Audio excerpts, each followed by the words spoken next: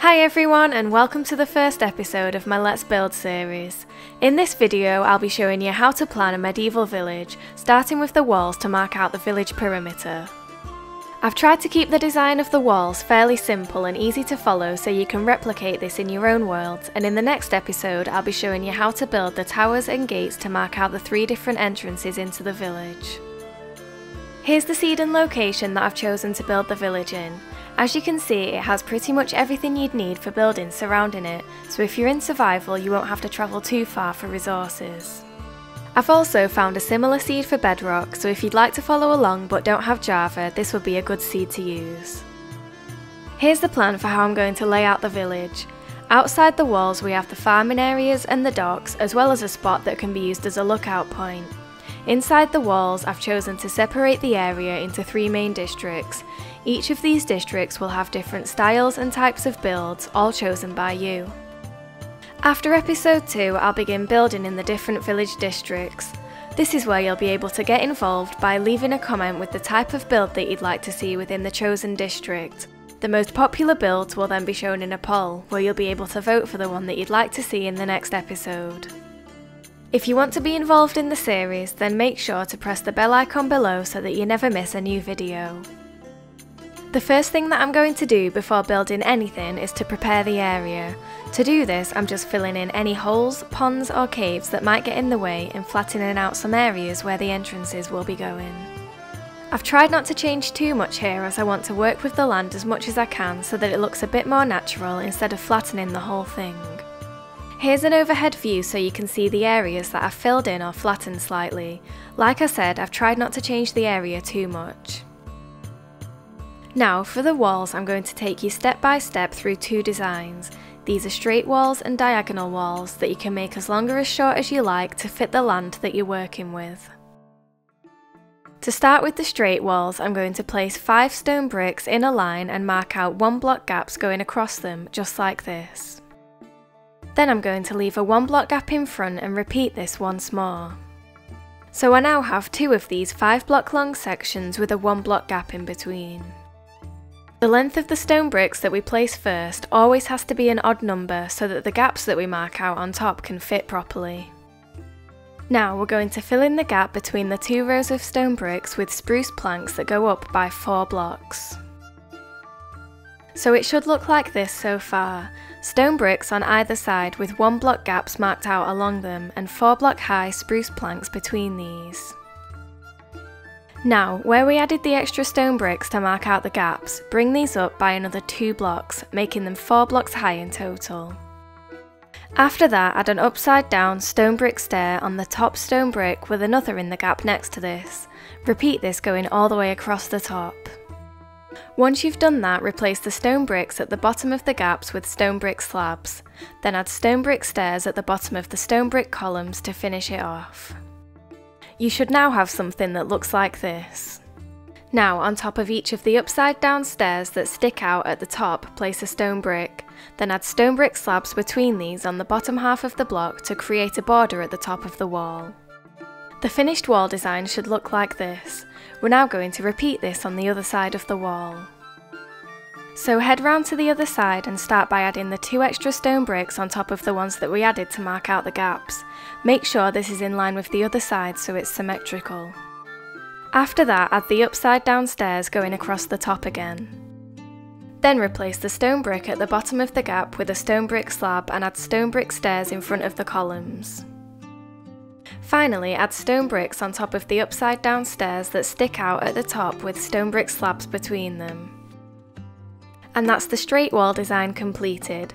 If you look at it from above, you can see the layer of spruce planks in the middle with stone bricks on either side.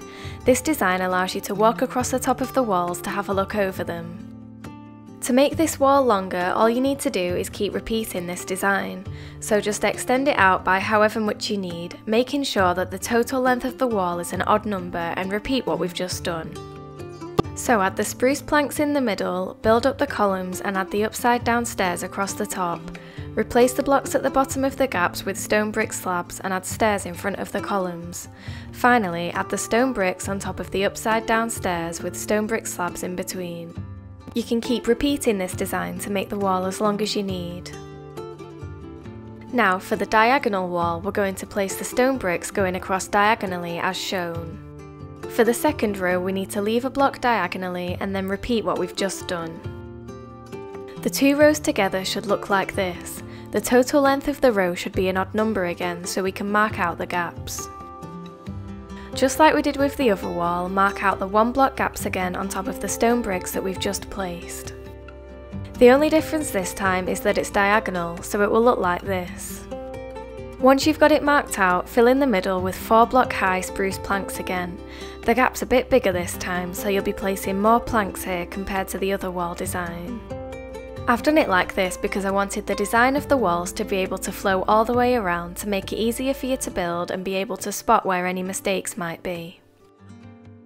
Now that the spruce planks are filled in, add an extra two stone bricks on top of the ones that we added to mark out the gaps, making them four blocks high in total. In the gaps at the top, add a stone brick slab placed on the top half of the block. Then at the top of the columns on either side of the slab, place upside down stone brick stairs facing inwards as shown. Once that's done, add stone brick slabs going all the way across the bottom. And here's what the wall design should now look like. For the blocks across the top, the pattern will always be a little bit different. The blocks on each end will usually be full blocks, depending on the direction that the wall next to them is facing, so to make it look symmetrical we have to make the middle blocks the same, which is what I've done here. We can also have them alternating like this. I'll explain this better shortly when we join the two walls together. Now we need to repeat all of this on the other side, so head round there and add the extra stone bricks to mark out the gaps, then add the stone brick slabs at the top of the gaps with the upside down stone brick stairs facing inwards at the top of the columns on each side. After you've done that, add the stone brick slabs going across the bottom. Then add the blocks and slabs on top of the upside down stairs across the top. Remember, if the alternating blocks don't quite match up, just add two of the same block type in the middle. And that's the design for the diagonal walls. Here's what it looks like from above and you can see that the spruce planks in the middle are thicker than they are for the other wall design. Now to extend this wall we just need to repeat the design again, so add the diagonal stone bricks and mark out the gaps, making sure that the total length of the wall is an odd number. Fill in the spruce planks and then add the extra stone bricks to make the columns. Add stone brick slabs to the gaps at the top with upside down stairs facing inwards on either side, then add the slabs across the bottom and the alternating blocks across the top to finish it off. Now to join the two wall designs together, all you need to do is add it onto the end. I'm going to make the wall turn right here, so I'm just going to add a straight wall section facing in the direction I want on the end of the diagonal wall section. The last block of the diagonal wall will be the first block of the straight wall, so make sure you count this when you're plotting it out as the length of the walls always needs to be an odd number. When you do join up to the diagonal wall, one side of the straight wall will always be longer, but because I made the gap in the diagonal wall slightly thicker, the length will still equal an odd number if you've built it correctly. So, just like we did earlier, fill in the gap with 4 block high spruce planks. The join between the two wall sections should look like this. Now add the extra stone bricks where we marked out the columns and add upside down stairs across the top. The first column and stair will already be in place from the diagonal wall. Replace the blocks at the bottom with slabs and then add stairs in front of the columns, including the one that marked the end of the diagonal wall. Finally, add blocks on top of the upside down stairs with slabs in between to finish this side of the wall off and that's how you join the two wall types together. Now I've shown you how to build the walls, I'm going to go to the build location and start marking out the foundations of where my walls will be going. So, starting at the docks where I marked out the entrance in green on the plan, I'm going to count around 7 or 8 blocks diagonally away from the shore and place my first block. This doesn't have to be in any specific location, I've just chosen this spot because it gives us a bit of room to build the docks. Now, from this block I'm going to mark out the first tower where the dock entrance will be. The outline for this tower will be three blocks across on the sides with one block diagonally in each corner as shown. Now from the corner block on the upper left count 6 blocks diagonally across and place a stone brick on the 7th block. So the gap between them should be 6 blocks diagonally across. Once you've done that, mark out the same tower outline where we just placed the stone brick, so three blocks across on the sides with one block diagonally across in each corner. The two outlines should look like this. These outlines are just placeholders for now as I'll be showing you how to build the towers in the next episode. Now, coming out from the corner of the outline, I'm going to start adding the foundations for a diagonal wall section. The first blocks we add will be the start of the wall, so add the extra blocks on top of these, then carry on placing the diagonal blocks going across. Remember, the length of the wall section needs to be an odd number. You can easily work this out by marking out the one block gaps like I'm doing. I've just brought this wall out by a few blocks. I didn't want to go too far as the area in front is for farming. I'm then going to start coming across by marking out a straight wall section. The walls don't have to be in any exact position or be any certain length.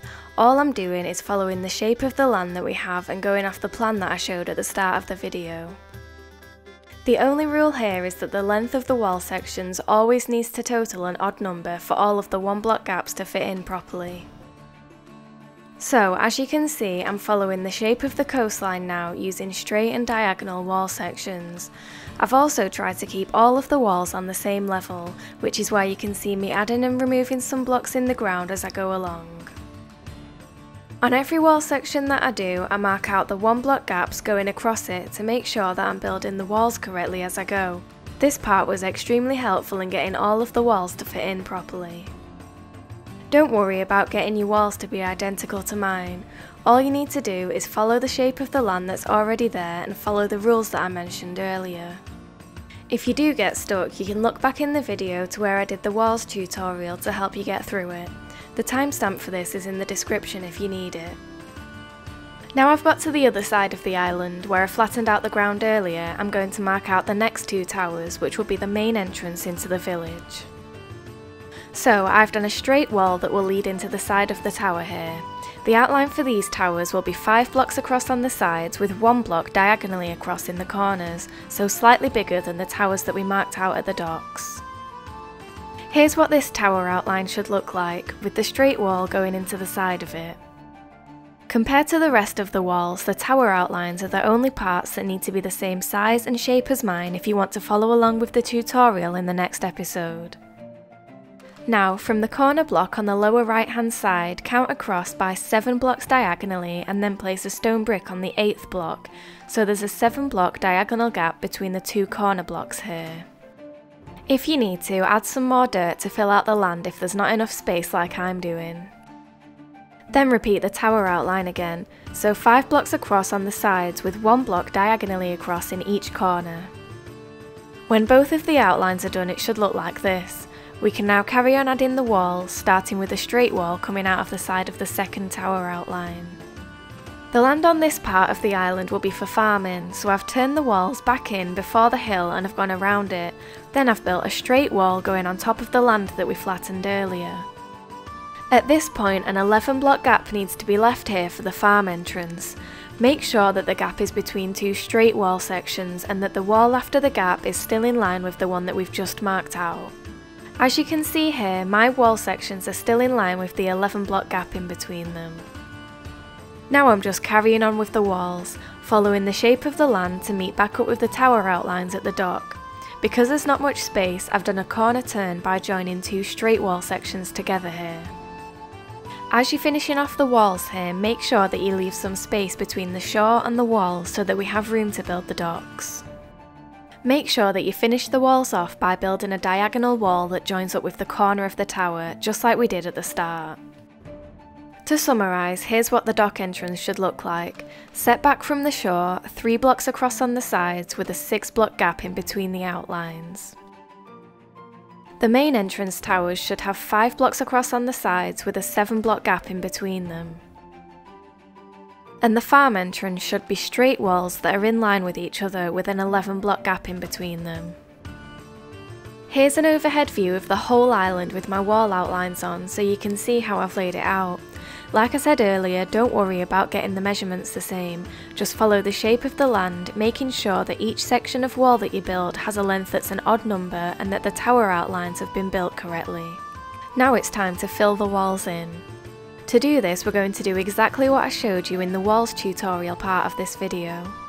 I'm starting with the diagonal wall section, so I'm filling in the middle with spruce planks, then building up the stone bricks on each side of the one block gaps. After this, I'm adding the stone brick slabs at the top of the gaps and also across the bottom. Then we need to add the upside down stairs facing inwards on each side of the slabs at the top. Finally, we need to add the alternating blocks and slabs across the top. Remember, at the straight wall there needs to be a full block on top of the upside down stair, so place that first and work inwards to figure out how the pattern will go. Add an extra upside down stair and slab by the tower too so there isn't a gap. Now it's time to carry on filling in the rest of the walls, so for the straight wall fill in all the spruce planks in the middle. Then add the extra stone bricks to build up the columns on each side of the one block gaps. The pattern for the walls is repeated all the way across so it should be easy to get the walls done once you've got the hang of it. After the columns are done, add the upside down stairs going across the top with an upside down stair at the top of the column and an upside down stair at the top of the gap. Repeat this going all the way across the wall section and it should look like this. Now replace the stone brick at the bottom of the gap with a stone brick slab going all the way across. Remember, if you made sure that the length of the wall section was an odd number, then this should all fit in perfectly. After you've done that, add the stone brick stairs at the bottom of the columns on each side of the slabs that we've just placed. Finally, add the stone brick blocks on top of the upside down stairs at the top of the columns, then place stone brick slabs in between these on the bottom half of the block. And that's the front of the two wall sections completed. Remember, you need to do this design on both sides of the wall. The design on the other side of the wall is exactly the same as what we've just built and what I showed you how to build in the walls tutorial. I tried to keep the design as simple as I could so you could easily repeat it and not get stuck. If you do get stuck though and need help, don't worry, just take it easy and go back to the walls tutorial to help guide you through it. Building the walls surrounding a village is often one of the most time consuming parts of the build, so it's best to get it out of the way at the start so you can focus on the more exciting builds later on. I'm now going to carry on filling in all of the walls around the island, following the designs that we've just done. Remember, we're leaving the tower outlines empty for now as we'll be going through how to build each of the towers and entrances in detail in the next episode, so keep an eye out for that when it comes out. For now, I'm going to carry on building all of the walls and I'll come back to you when they're all done so we can add some lighting to them.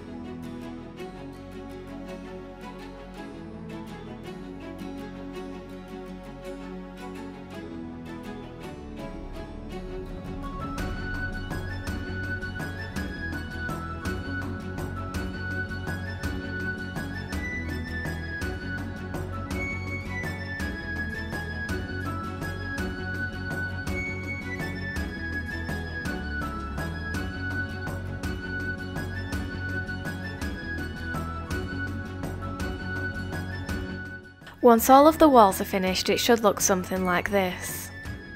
This layout was achieved by following the shape of the land and leaving room for the districts that we marked out that are outside of the walls.